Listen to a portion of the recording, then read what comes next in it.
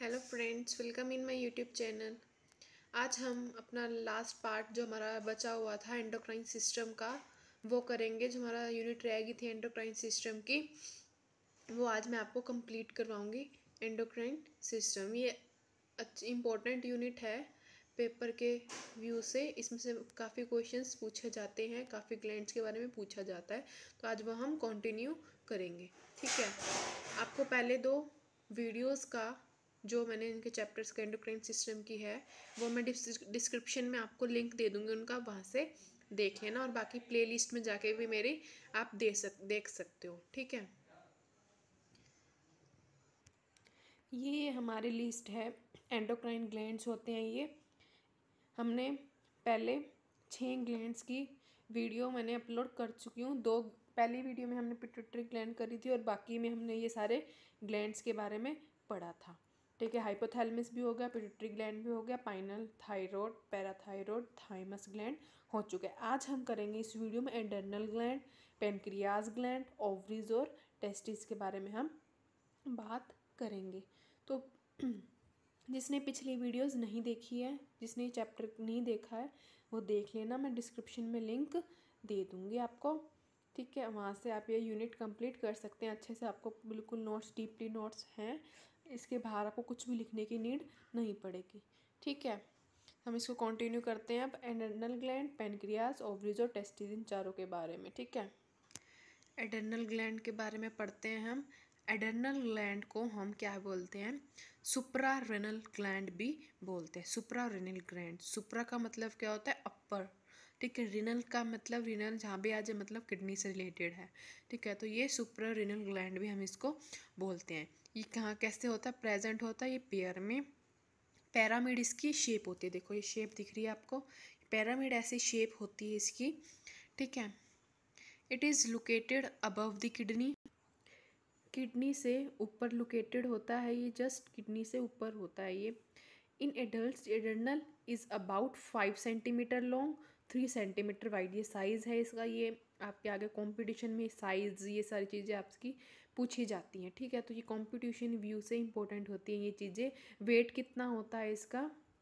Wait कितना होता है इसका? फोर के जी होता है, ठीक है? स्ट्रक्चर देखो, ये पिरामिड शेप है इसकी।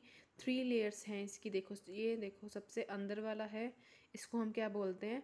एडर्नल मेडुला एडर्नल मेडुला हम इसको बोलते हैं, जो अंदर वाला है। ठीक है, सबसे इनर है जो। ठीक है मिडल मिड वाले को क्या बोलेंगे? एडर्नल कोटेक्स, एडर्नल कोटेक्स और आउटर कैप्सूल जो हमारा आउटर है, उसको हम क्या बोलेंगे? सॉरी इसको जो आउटर पे है, उसको हम क्या बोलेंगे? आउटर कैप्सूल बोलेंगे, जब से बाहर है ठीक है? तो जो हमारा सबसे बाहर वाला होती है, जो आउटर कैप्सूल होती है, वो किससे बनी होती है? कॉनेक्टिव टिश्यू से बनी होती है, ठीक है? कॉनेक्टिव टिश्यू से बनी होती है। और जो बीच वाली एडर्नल कॉटेक्स होता है, ठीक है? उसको क्या बोलते हैं? वो वो किससे फॉर्म हुई होती है? ग्रेनुलर टिश्यू से, ठीक है? फॉर्मेशन बाय ग्रेनुलर टिश्यू और जो एडर्नल मेडुला वाली होती है, वो किससे फॉर्म होती है? नर्वस फाइबर से. नर्वस फाइबर से वो फॉर्म होती है, ठीक है? तो हमने स्ट्रक्चर के बारे में बात करी अभी इनको हम एक एक को करके इसके जो भी लेयर्स हैं, उसके बारे में स्ट्रक्चर के बारे में आगे डिटेल में पढ़ते हैं, ठीक है?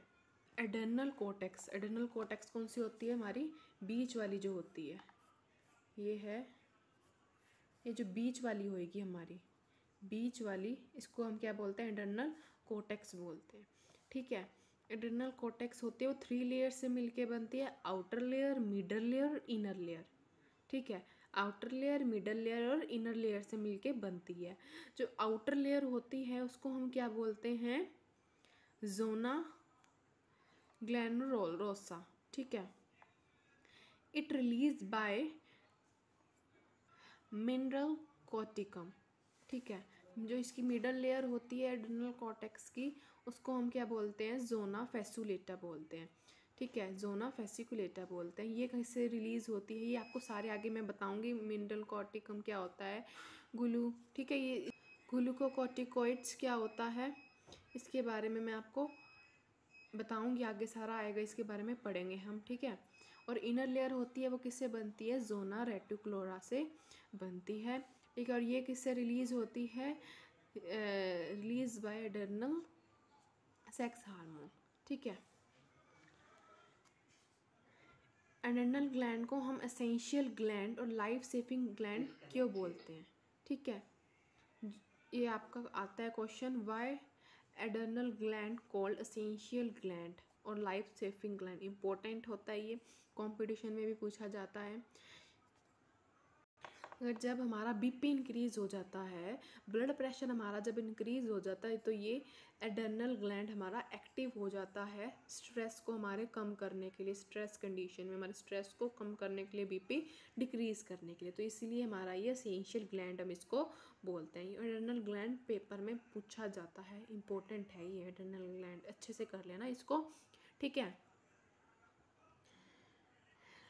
एडर्नल कोटेक्स है, वो रिलीज़ करते हैं corticosteroids hormone. Corticosteroids hormone adrenal जो कोटेक्स है, हमारी मिडल लेयर है जो स्ट्रक्चर में, एडर्नल ग्लैंड के, वो क्या करती है, हमारी कोटिकोस्ट्रोइड्स हार्मोन रिलीज़ करती है। और जो कोटिकोस्ट्रोइड्स है ना, वो इन, जो मैंने आपको बताया, ग्रेनुलोसा, जो इसके बारे में बताया था कि ये रिलीज़ करती ये सारी, ये फेसिकुलेटा, इससे क्या होता है ये कॉम्बिनेशन होता है इनका। ठीक है? ठीक है? इनका कॉम्बिनेशन होता है। ठीक है? इसकी जगह आप क्या लिख सकते हो? जोना रेटिकुलोरा भी लिख सकते हो। ठीक है?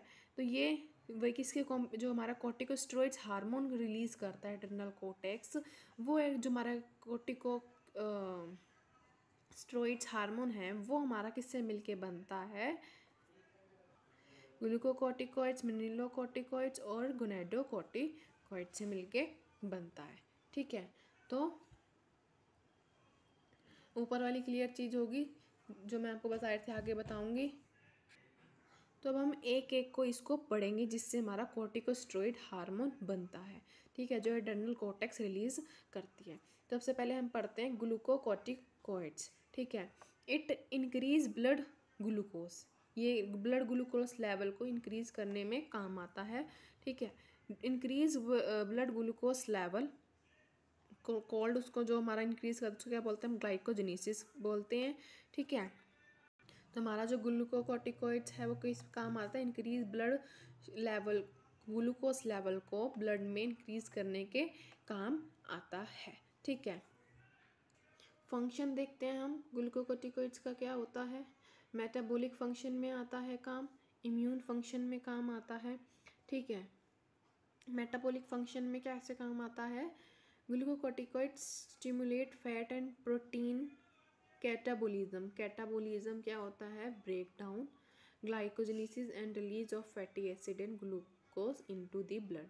ठीक है? Immune function excessive level of glucocorticoids inhibit inflammation by decreasing the release of inflammatory chemical जैसे हमें मधुमक्खी काट जाती है तो हमारा जो ग्लूकोकोटिकोइड्स होता है, वो क्या काम करता है? उसका जो इन्फेक्शन है, उसको डिक्रीज़ कर देता है। इन्फ्लामेशन जो हो रही है उसकी, उसको डिक्रीज़ कर देता है। ठीक है? उसके इम्यून फ़ंक्शन को डिक्रीज़ कर देता है जो, ठीक है? तो ये ऐसे काम करता है। ठीक है? और ये drug use of glucocorticoid drugs it decrease the excess यही यही मेन इसका फ़ंक्शन है। Excess inflammatory process, symptom of many chronic inflammatory disorders such as rheumatic और एलर्जिक रिस्पॉन्स ठीक है? जो ऊपर बताया मैंने आपको एग्जांपल दिया मधुमक्खी वाला तो वैसे ये सेम इसका यूज़ ड्रग के ड्रग में यूज़ करता होता है ये, ठीक है? नेक्स्ट हम करते हैं मिनरल कॉटिकोइड्स हम क्या बात किस चीज़ की बात कर रहे हैं? जो हमारा एडर्नल कोटेक्स रिलीज़ करता है हार्मोन कॉर्टिकोस्ट्रॉइड।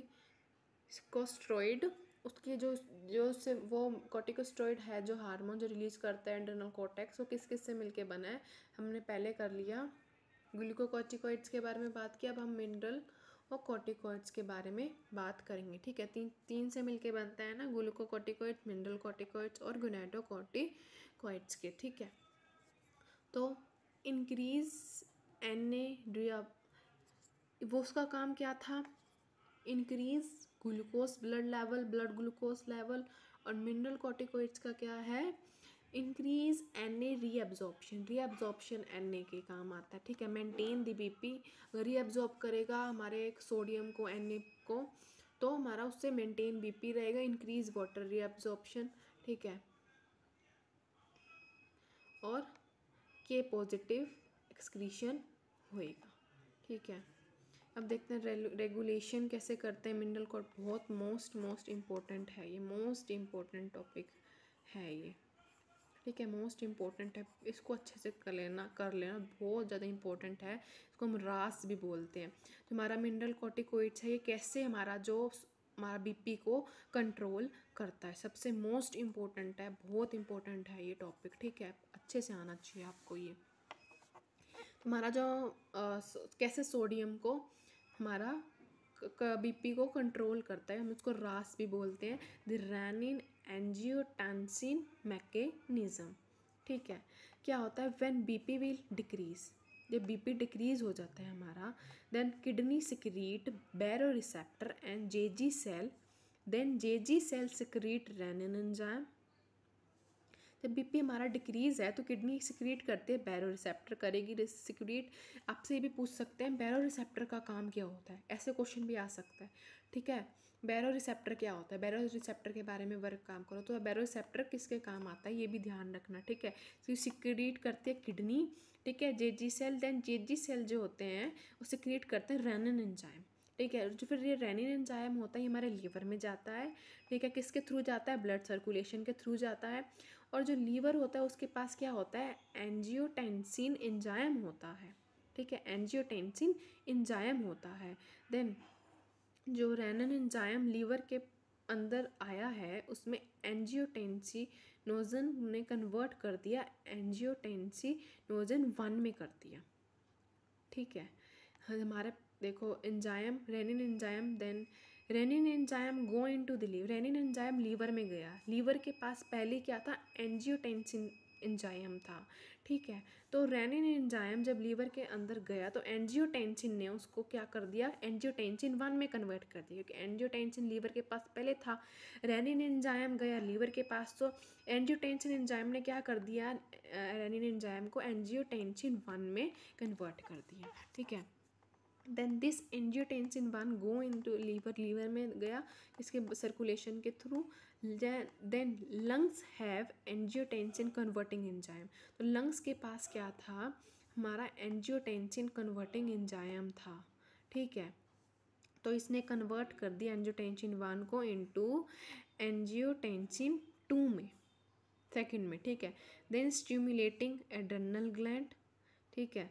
देन फिर क्या हो गया? जैसे इस एंड एनजियोस्टेंसिन टू में कन्वर्ट हुआ है स्टिमुलेट हो गया एड्रेनल ग्लैंड एंड नंडर ग्लैंड स्टिमुलेट एल्डोस्ट्रियोन जिसको क्या मिनरल कोटिको कोइट्स हम बात कर रहे हैं, उसको हम एक्टिवेट कर दिया तो मिनरल कोटिको कोइट्स का काम क्या है? N A plus H two O की रीअब्जॉर्प्शन करना। मैंने ऊपर बताया ना एन ए की रीअब्जॉर्प्शन और वाटर की रीअब्जॉर्प्शन करते हैं। तो रीअब्जॉर्प्शन होगी एन ए की और एच टू ओ की, ठीक है? And then again B P भी इंक्रीज और बी पी क्या हो जाएगा? फिर से इंक्रीज तो ऐसे हमारा ये मिनरल कॉटिकॉइड्स वर्क करता है हमारे बीपी को मेंटेन करने में। बहुत इंपॉर्टेंट है ये, अच्छे से कर लेना, ठीक है? इसको पढ़ोगे आपको अच्छे से समझ आ जाएगा क्या लिख रखा है, आप अपने आप अच्छे से इसको समझ सकते हो, ठीक है? तो हमारा ये हो गया मिनरल कॉटिकॉइड्स ठीक है? नेक्स्ट लास्ट आता है हमारा गोनेडो कॉटिकोइड्स ठीक है? जो हमारा कॉटिकोस्ट्रोइड हार्मोन है, जो हमारा ननल कोटेक्स रिलीज़ करता है, उसके लास्ट जो कॉम्पोजिशन है, वो है gonadocorticoids it is mainly present in male आपने सुना भी होगा। ठीक है? But also present in female में भी प्रेजेंट होता है। फ़ंक्शन ऑफ़ एंड्रोजन्स ठीक है? In males androgen stimulate during puberty for development of pubic and axillary hair ये जो हमारी प्यूबर्टी एज होती है, उसमें ये एक्टिव होता है मेल में और किस चीज़ का काम आता है? प्यूबिक एंड एक्सेलरी हेयर के डेवलपमेंट में काम आता है। In women it is produced after menopause जब मेनोपोज हो जाती है वुमेन में, जब when ovarian estrogens are no longer produce जब ओवरी हमारा एस्ट्रोजन हार्मोन होता है, वो प्रोड्यूस नहीं करती तो मेनोपॉज के बाद एंड्रोजन हार्मोन प्रोड्यूस होता है। तो हमारा ये पूरा हो गया अब एडर्नल कोटेक्स जो हमारी मिडल लेयर थी स्ट्रक्चर था ना, मैंने आपको बताया ये, देखो, हमारी क्या होती है आउटर कैप्सूल बीच वाली एडर्नल कोटेक्स और बिल्कुल अंदर वाली एडर्नल मेडुला ठीक है? तो हमने बीच वाली पढ़ ली, एडर्नल कॉर्टेक्स। ठीक है? अब हम नेक्स्ट पढ़ते हैं, एडर्नल इनर मेडुला। सबसे अंदर वाली, ठीक है? एडर्नल इनर मेडुला के बारे में पढ़ेंगे। जो एडर्नल मेडुला है, वो रिलीज़ करती है, जो हार्मोन रिलीज़ करती है, उसको क्या बोलते हैं? कैटी क्लोमिन्स, ठीक है? कैटी क्लोमिन्स जो होती हैं, वो किस किस से कॉम्बिनेशन से मिली बनी होती है?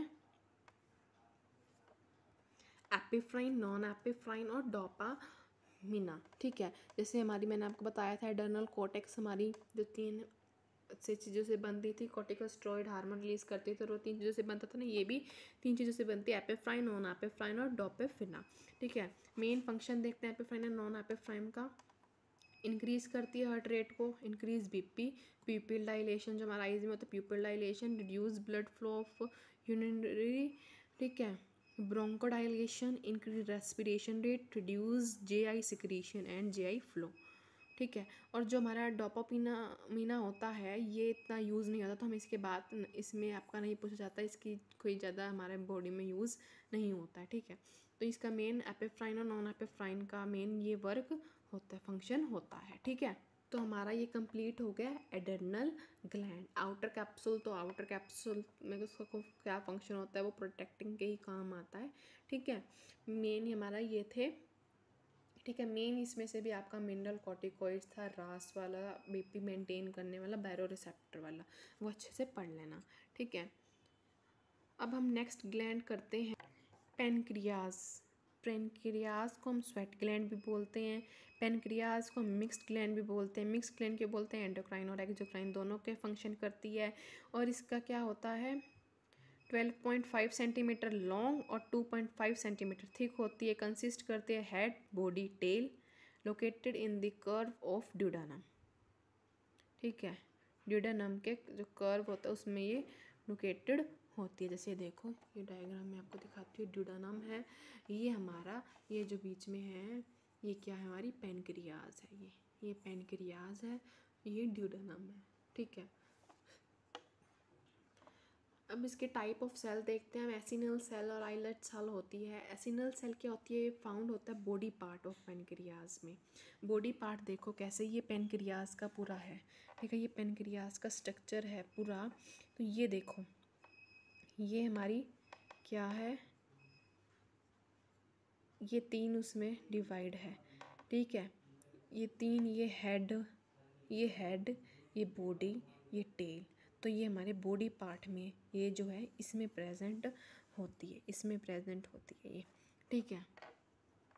Found in body part of pancreas found ninety eight ninety eight percent तक यही होता है सिक्रीट पेनक्रियाटिक जूस अब करते हैं हम आईलेट की बात। ठीक है? तो ये हमारा टेल पार्ट में होता है पेनक्रियाज के। हमारा ये तेल टेल पार्ट है। टेल पार्ट में ये प्रेजेंट होता है। ये बॉडी पार्ट में था। एसिनल सेल और टेल पार्ट में आइलेट सेल प्रेजेंट है। अब ये आगे डिवाइड है। Alpha cell beta cell delta cell और किसमें सेल है? पॉलीपेप्टाइड सेल्स पीपी सेल, ठीक है? अल्फ़ा सेल जो होते हैं, वो क्या होता है? पंद्रह से बीस परसेंट फाउंड होते हैं इसमें। आईलेट जो हमारा है, ये इन चीज़ों सेल से मिलके बनता है, ठीक है? पंद्रह से बीस परसेंट क्या होता है? हाईलाइट में अल्फ़ा सेल होते हैं, बीटा सेल होते हैं, सत्तर परसेंट, और डेल्टा सेल होते हैं, पाँच से दस परसेंट, और पीपी पॉलीपेप्टाइड्स होते हैं, एक से दो परसेंट, ठीक है? सिक्रीट ये क्या करते हैं? Alpha cell silk secrete glucagon hormone beta cell करते हैं इंसुलिन को सिक्रीट डेल्टा सेल करते हैं स्मैटोस्ट्रीन और पीपी सेल पॉलीपेप्टाइड सिक्रीड करते हैं। ठीक है? हमारा लास्ट ग्लैंड आता है, वो आता है हमारे गोनेट्स ओवरीज और टेस्टिस ठीक है? गोनेट्स बोलते हैं ओवरीज और testis ovary male sex hormone testis male sorry female sex hormone ovary testis male sex hormone ovary secrete करती है टू हार्मोन एस्ट्रोजन और progesterone estrogen estrogen is responsible for maturation of the reproductive organ तो आपने twelfth eleven twelfth में पढ़ा होगा, ठीक है? Estrogen increase at the time of puberty and causes the growth of uterus and vagina estrogen and progesterone are responsible for the development of breast and for the uterine cycle menstrual cycle जिसको बोलते हैं। ठीक है? Progesterone का क्या होता है? It is female hormone secreted by corpus luteum after ovulation के बाद जो हमारा कॉर्पस ल्यूटियम होता है during the second half of the menstrual cycle means fourteen day में जो हमारा कॉर्प ओव्यूलेशन होता है, उसके बाद कॉर्पस ल्यूटियम जो हमारा सिक्रिएट होता है, ठीक है? टेस्टिस टेस्टिस की लोकेशन क्या होती है? In an extra abdominal skin pouch called scrotum scrotum ठीक है? Testis secrete testosterone hormone it belongs testosterone का क्या होता है? It belongs the family of the androgens which are steroid hormone producing masculine affect ठीक है? तो ये था हमारा जो टेस्ट सिक्रिएट करते टेस्ट्रोजन हार्मोन का उसका फ़ंक्शन ठीक है। आज हमारा कंप्लीट हो गया हमारी यूनिट थी जो एंडोक्राइन सिस्टम वाली। ठीक है हाफ़ से भी ज़्यादा मेरी दो दो वीडियोस में अपलोड करी है। पहले वीडियो मैंने इंट्रोडक्शन और प्यूटरी ग्लैंड के बारे में बताया था और जो बाकी थे छः ग्लैंड मैंने उस सेकंड वीडियो में बताया था। दोनों वीडियोस का लिंक मैं आपको डिस्क्रिप्शन में दे दूँगी। आप वहाँ से देख लेना, जब भी आपको ये वीडियो समझ में आएगी कि मैंने आगे क्यों कर, आगे कैसे करवाया, क्योंकि आप जब तक इंट्रोडक्शन और वो नहीं देखोगे तो ये समझ नहीं आएगी, ठीक है? एंडोक्राइन सिस्टम वाली यूनिट इंपॉर्टेंट है तो इसको आप अच्छे से कर लेना ओके थैंक यू अब मिलेंगे नेक्स्ट वीडियो में.